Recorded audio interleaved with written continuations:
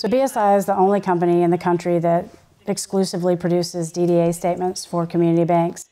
A lot of our competitors do um, different types of billing, medical billing, utility billing, and we really felt it necessary to stick to our knitting because only if you specialize in something can you do it really well and do it better than anyone else.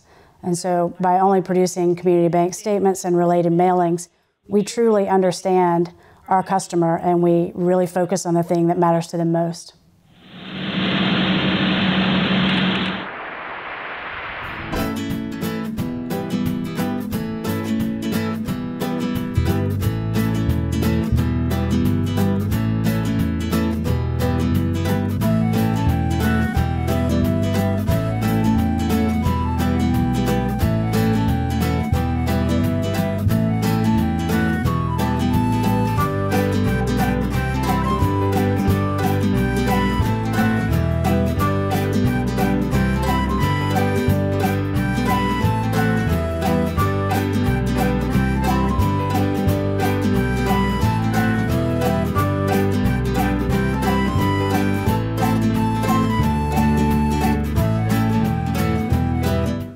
When BSI was founded, we actually founded it on three main pillars. Uh, one of them was accuracy, one of them was turnaround time, and one of them was having the highest security available. Accuracy is something that is supremely important because we realize that if a statement goes out incorrectly or goes out late or has some problem with it, that that reflects poorly on the bank.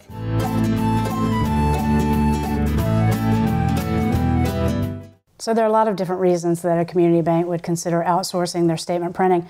A few things that come to mind specifically related to postal regulations and how frequently they change. We stay on top of that and make sure that that pre-sort discounts um, are always at their maximum and that um, that the mail is always in compliance with the USPS regulations. Banks don't have to make investments in equipment or reinvest in old equipment that they really no longer have the desire to have.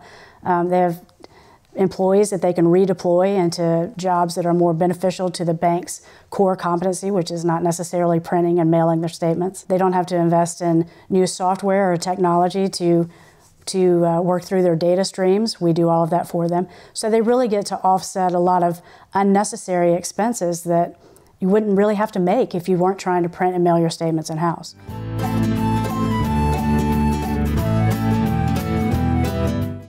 So our atmosphere, our work environment's a lot like a community bank and their customer base because it's very centrally located. Everyone knows everyone. Everyone's um, invested in, in what happens to the person next to them. So we feel like that as an organization, and that's how community banks feel with their customers. Everyone's in a very small area. They all are um, cheering for the same school and, and working at the same places within a, a specific town, which is where community banks mostly are.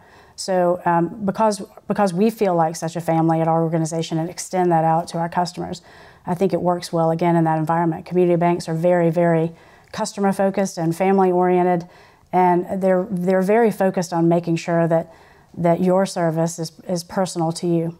And we do the same thing.